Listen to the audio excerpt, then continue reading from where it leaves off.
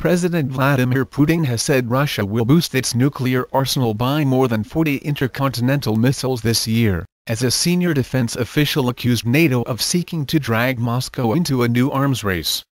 Mr. Putin made his announcement a day after Russian officials warned that Moscow will retaliate if the United States carries out its plan to store heavy military equipment in Eastern Europe. This year the size of our nuclear forces will increase by over 40 new intercontinental ballistic missiles that will be able to overcome any, even the most technologically advanced, missile defense systems, Mr. Putin, flanked by army officers, said in a speech at a military and arms fair.